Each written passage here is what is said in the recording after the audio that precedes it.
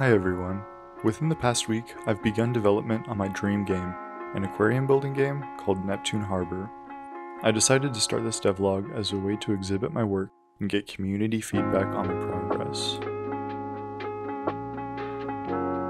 Before we jump into the actual content, I wanted to give you a little insight into my life. My name is Nate. I'm currently a rising senior at the University of Texas at Dallas, and I'm studying game design and development. I've loved video games for as long as I can remember, with fond memories of playing the Game Boy Advance being some of my earliest. I began creating games with the Unity engine after a coding summer camp I enrolled in in the 7th grade. Since then, I've developed a number of small projects in my free time, but nothing with the magnitude of what I'm working on now. For this game, I took inspiration from some of the games I love the most. Popular building sims like Zoo Tycoon and Tiny Tower, and cozy, community-based games like Stardew Valley and Animal Crossing have influenced the design of Neptune Harbor the most.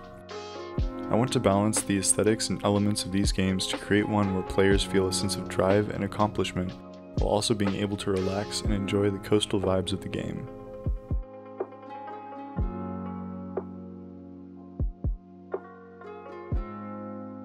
I began the development process by trying to find a distinct style for the characters and fish featured in Neptune Harbor.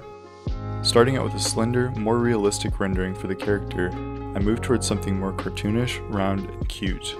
Inspired by games like Dadish and Super Cat Cattails, I utilized a style of flat shading and well-defined outlines to finalize the design. The creatures of the game followed a similar design trajectory.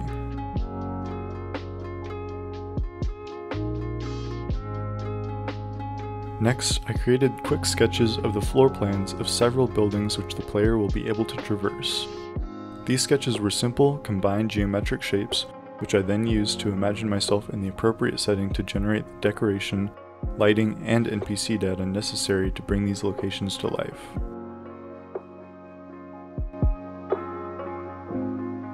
Using the style and size of the character I designed earlier as a base, I built out the interiors of a couple of these buildings. I began with the pizza parlor, which will house a minigame which players can utilize to make extra money, then moved on to the hardware store, where players can build the rooms of their aquarium and purchase furniture for their guests. Since the hardware store is much more integral to the gameplay of Neptune Harbor, I imported it into Unity to create the base functionality for the game. I started this process by giving the player a rigid body, a component which connects it to Unity's physics, and applying velocity to it based on input from the arrow keys. This allowed the player to move around the scene and connect with the colliders I had placed along the walls of the room. I also flipped the sprite based on the direction of movement so that it looked as though the character was always looking forward.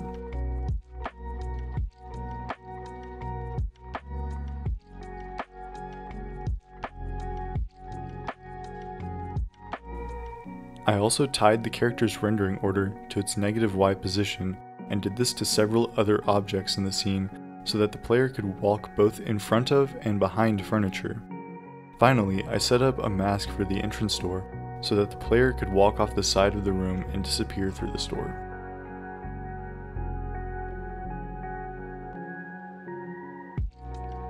After this, I returned to the design of the player character to create a walk cycle for more realistic movement as well as player customization tools.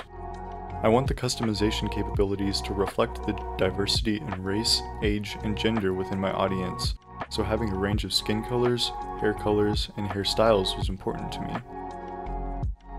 Furthermore, I want players to be able to express their own individual style, so I created some clothing variation, with many more to come later. This necessitated a breakdown of the original character into 12 separate images, which are layered on top of each other to create characters within Unity.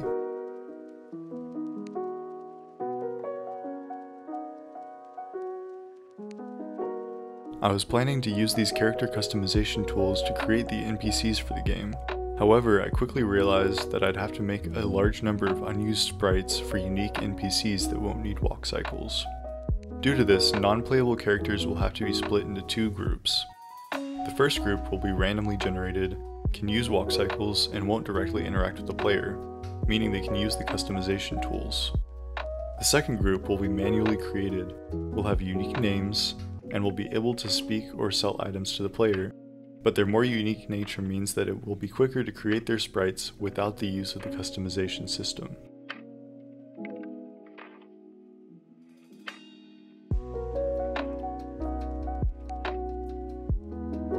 Moving on, I decided to spruce up the interior of the hardware store using Unity's 2D lighting system. Although it was subtle because I wanted to replicate the fluorescent lights present in most hardware stores, I hope that these details will make the interiors of other buildings more atmospheric and eventually give players more control over the aesthetics of their aquarium.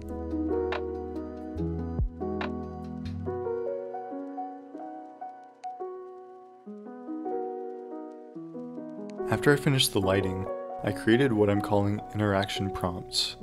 These pop up to signify to the player what they can and cannot interact with, notifying them to press a button in order to open a menu or speak to an NPC.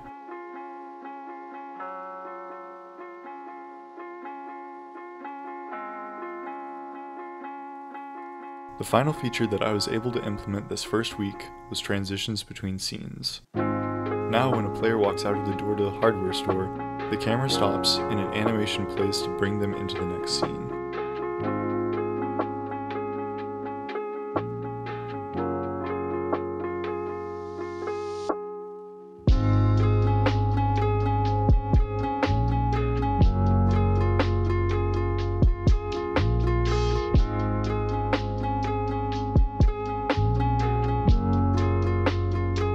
Before the end of this video, I want to take a minute to discuss the next features that I want to implement.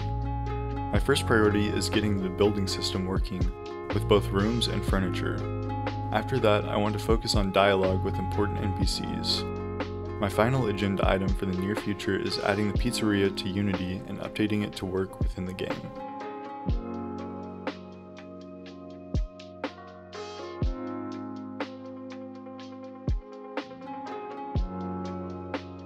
I think that's all to report for this first devlog. Thank you so much for tuning in and making it to the end of the video. If you're interested in following the rest of my development journey, I'll be posting updates onto this channel regularly, so feel free to hit the subscribe button below.